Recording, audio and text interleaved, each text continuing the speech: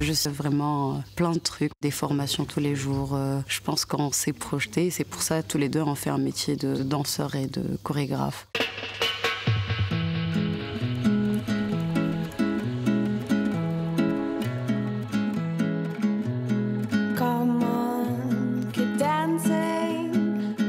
J'ai commencé par le difficile, à créer des solos pour moi. Donc euh, j'avais pas euh, ce regard extérieur euh, à part me filmer.